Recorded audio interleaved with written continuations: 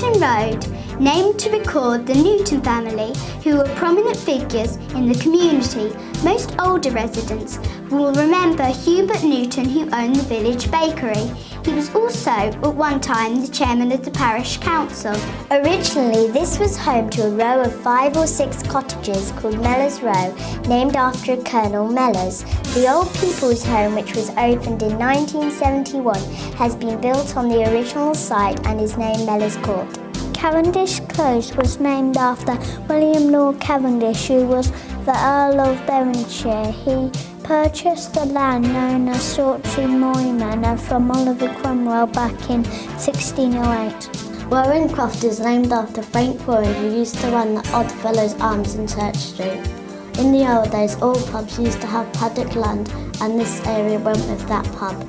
Ermine Way was named in acknowledgement of Ermine Street, the famous straight Roman road which ran all the way from London to York via Lincoln. The farm by All Saints Church was called Manor Farm and you could lead the cattle to Manor Farm down a track near this road, which is why it's called Manor Drive. A spelling mistake resulted in this road being named Bloomfield Road.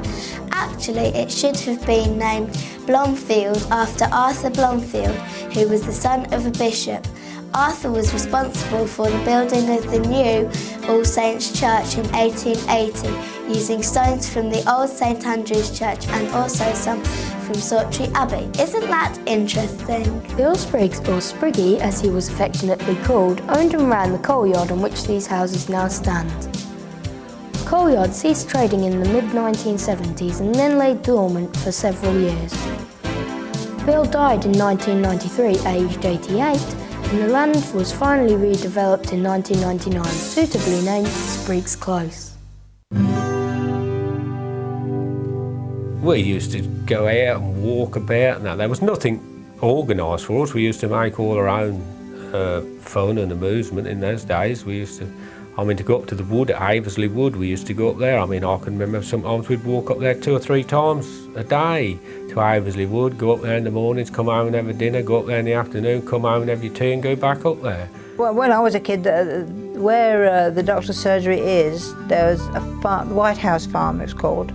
Muck carting time or hay cart, haymaking, and we, we kids used to, if they'd let us, ride on the cart. You know, it was lovely. Um, we used to stand around and, with big sticks. When the uh, thing went round, you know, if the rabbits used to pop out, you'd try and wallop them with the stick, catch a rabbit. Scrumping was one of the things. We used to go scrumping in the old orchards, get a few apples and that in those days. That was another thing we used to do. Raid somebody's orchard to get some apples or pears or something like that when they was in season. But uh, we used to do things. Uh, I remember, as I say, Becky Jolly's shop where it was on the front where Mellors Court is now. And coming home from school, I used to sometimes just open her door and and she had a bell on the door. If you just opened the door about a foot, the bell used to ring because she weren't in the shop. She was out in the back doing her housework in those days, and uh, she only used to come into the shop when the bell rung and someone went in. So I used to ring the bell and then run to get round Church Street corner before she got there. But she used to manage sometimes to just get to the door and look out to see it well before I got round the corner. The village green was filled with um, the Dodgems and the Jungle Speedway and the sideshows and swinging boats, because I could never go on those because I was sick. But um, all around the the um, fair, people used to have caravans, you know, Thurstons and Fendicks and Thompsons. It was great. A topping up night on a Saturday, they used to call it Saturday night. Education was originally undertaken at the old school hall, initially with boys and girls in one big room. The Women's Land Army building, home to Lancashire and Yorkshire girls during the Second World War, became the infant school. The village community college opened in 1963. In 1972, the infants acquired their new school. Ten years later, the new junior school was opened, thus completing a very brief picture of education in Sawtry. Well, that's if you don't include the Agricultural and Home Economics College, now the Youth Centre, Oh, and the preschool playgroup, based in the original telephone exchange, but you knew about them, didn't you? Six times a year, residents receive a free local magazine published by an organisation known as Caresco. But who are they? Caresco stands for Sawtry Care and Resources Organisation. We're a registered charity based in Sawtry. We run lunch clubs and day centres for the elderly and the housebound. We also run a community print shop and try and meet other needs within the community. It was started by a group of active parishioners who wanted to take over a couple of projects already running. They were led up by Marjorie Dybeck, who later became the first organiser of Caresco. The Caresco Centre was handed over to Caresco in 2001. It is such an improvement that really there's no comparison between the two. It's warm and cosy. People enjoy coming here. Numbers were dropping off in the old building because it was so cold. But here people seem to be comfortable and hopefully get a warm welcome. The whole building was dreadful. it was an old shed that was falling to pieces nearly, um, cold. In the winter especially, the heating will go off and when this new building came along, well, it's like being in paradise, I think, against the old one. On Mondays and Tuesdays, it's the Luncheon Club, a chance for residents to get together, have a chat, and a nice meal. Joan and um, Nancy and uh, Eunice help with the food, you know. And it's nice coming here for the company, really, because it makes us poor old souls that have all day on their own. I can't praise them enough here because everybody's so good. And what do I get up to? Playing Scrabble, playing bingo, having lots of fun, and enjoying myself.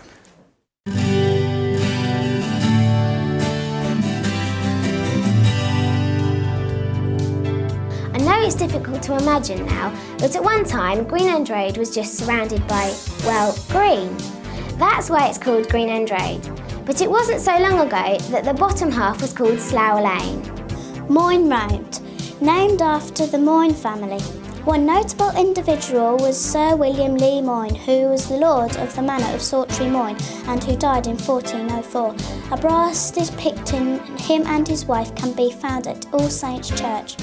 Looking past the word Dalcombe, the hill over which the new A1M disappeared is called Stangate Hill. Actually, the crest used to be high, but the new road has been cut through, making less of a steep climb for the traffic. In the days of steam engines, though, the driver would have to fill up the engine's tank with water at the bottom of the hill. If he didn't, he probably wouldn't have enough steam to reach the top. In 1989, Sawtry Parish Council purchased 15.1 acres of land designated to be the new Sawtry sports field. Local builder Roy Green was heavily involved in the building of the new clubhouse, and the whole facility is known as Greenfields, in recognition of all his hard work.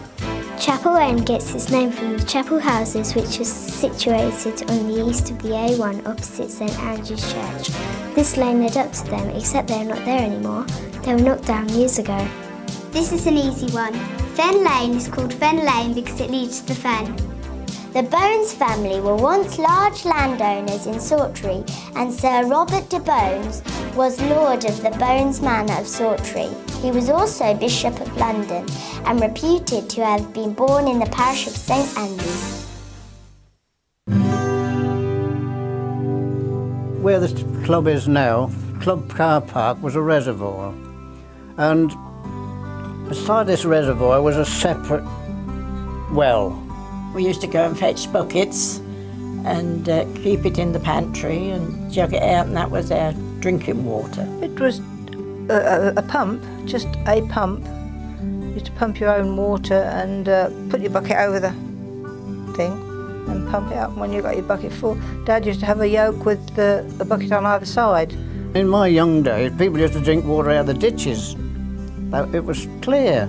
You could see fish swimming in it as boys, we've drunk water out of a land drain pipe that run into a dike, where it runs into a dike and runs out in the dike.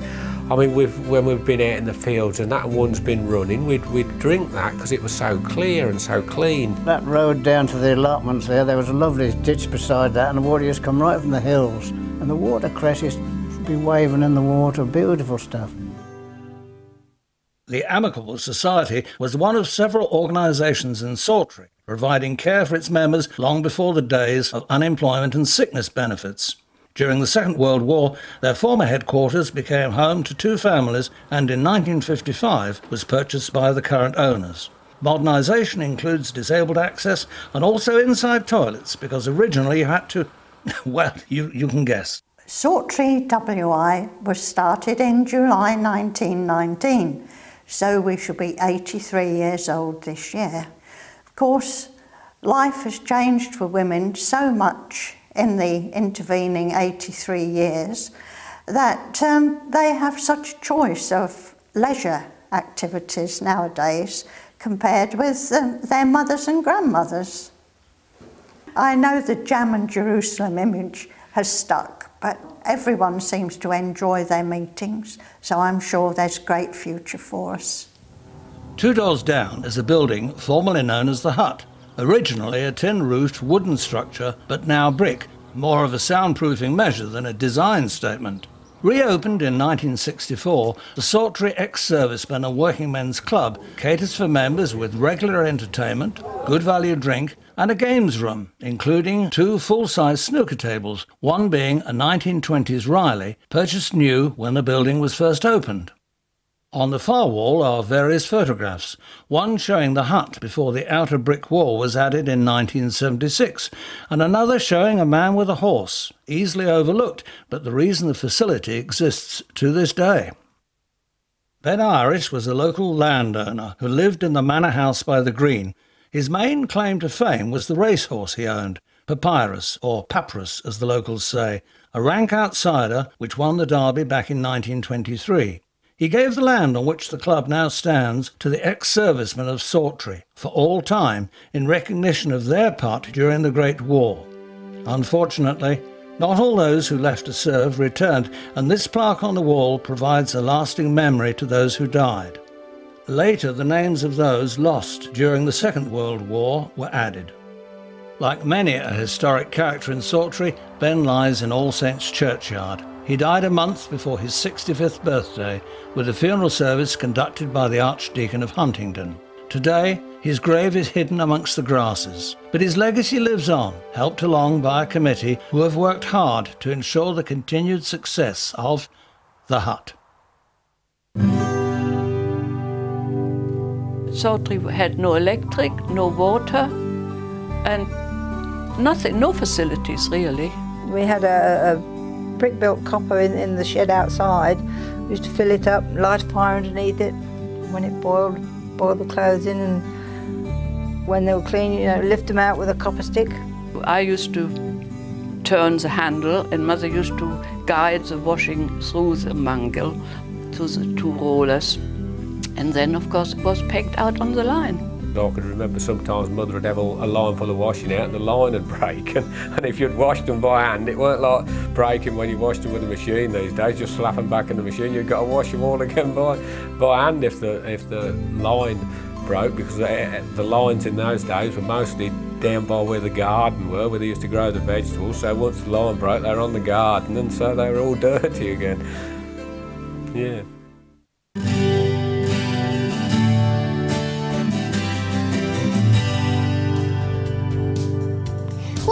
Expect, this road is named after a big green leafy thing, a laurel bush.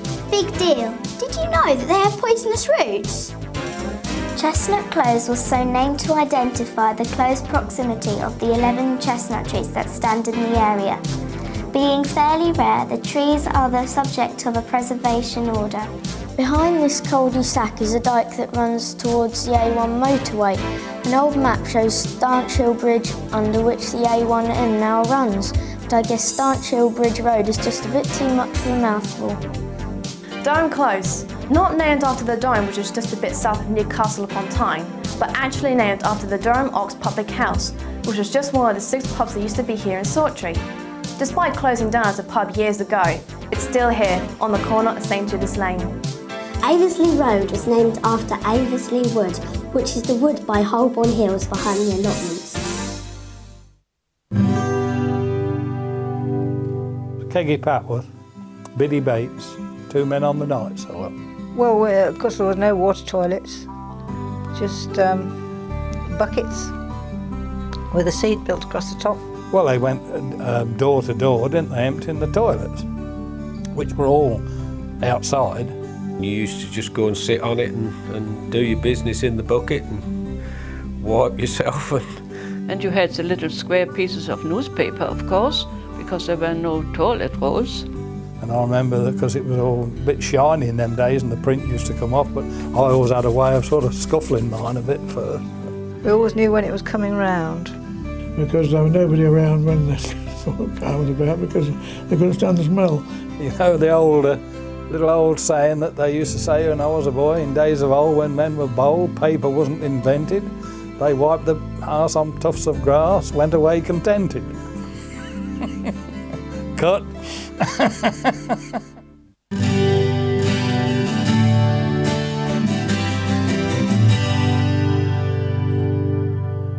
In the 1960s, the policy of the District Council was to create two key rural centres to service smaller surrounding villages. Sawtry was an ideal choice, having excellent facilities. Hey, it even had its own village fire station. And here's the original one, home to horse-drawn tender and still overlooking the village green. But development was running rife. Well, when I came into Sawtry in 1970, I think every road in the village was just covered in mud where vehicles from every contractor who was building houses were just coming onto the village and uh, I met this um, wonderful character George Cheney and came involved with him and he said, you know, we've got to somehow get the, um, them stop going any further because every piece of field that was beyond was being sold by the farmers for these developers and they were just buying it up so they can keep on extending and extending outwards. Finally approved in 1976, the village plan, a 10-year plan, was an innovative blueprint document, including proposals for the posting of a formal village boundary and a capping on building preventing overdevelopment. The completion of that 10-year plan in 1976 is just being completed now in 2002 the 10-year plan. It's taken that long to develop it out, so you can see how massive it was at that time when we got it stopped.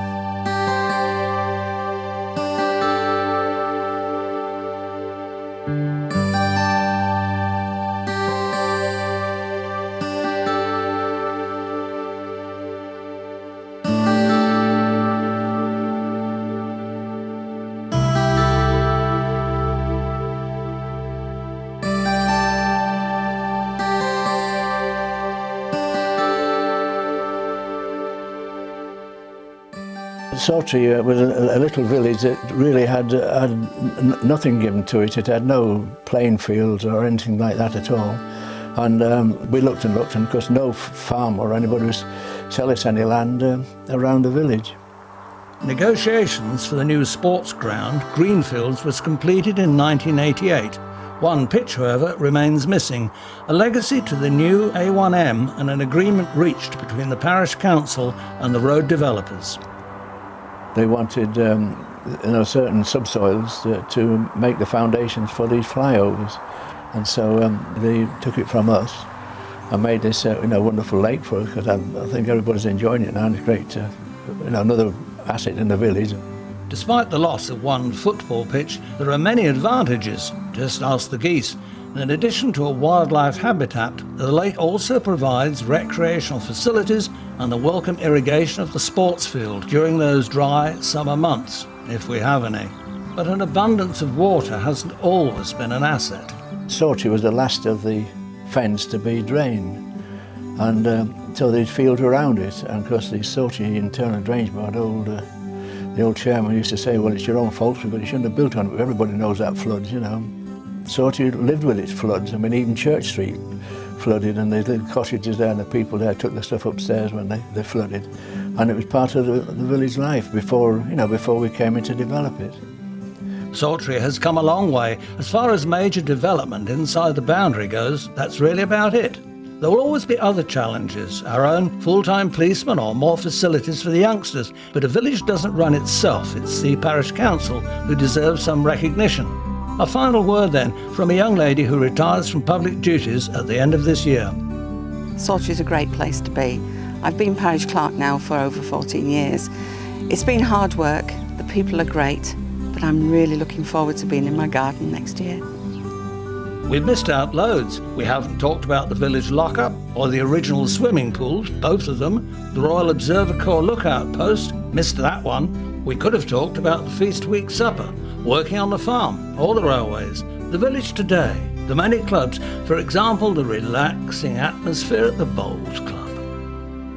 Or life in the fast lane with the motorbike club. Every year they take Easter eggs to a local children's respite home. But all good things must come to an end, and as far as sort. Hold on, it's not that guy with the dune buggy again. What's Herbert doing?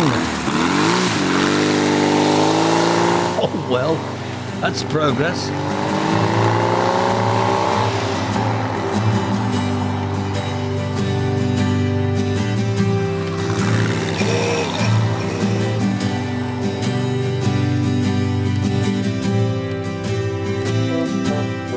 There was a cannon emplacement to guard the A1, I mean, oh, sorry, A1, what they said, it weren't the A1, it was the Great North Road. Sorry. The trouble we've got is churchyard and graveyard, you see, because I will be picked up on that if I get it wrong. Really, what's the difference? Because a churchyard belongs to the church and directly adjoins the church. A graveyard is, in fact, what belongs to the parish council. And it won't surprise me, in years to come, you'll be able to put two pound coin or euro in the slot and pull the beer yourself. It won't surprise me that don't happen, happen that though. One of the things I could change, the parking outside the co-op, yeah, I'd change that, yeah, definitely. I'd, have, I'd if I could sort of have a wish and, and, and sort of change the parking outside the co-op, probably that's one. He bequeathed the land to sort, oh sorry, done it wrong. I'm as bad as the blinking kids. The Beans family were once large landowners. Oh, I'm so sorry, I can't get it into my head. Village life is different to the, to the big towns where people don't know each other. Here, we always used to pride ourselves on knowing who was uh, at the end of the street and in the next street, and I think that helped a lot. Um, but we, we should never lose sight of the fact that uh, we live in a village, and that's different to a big town.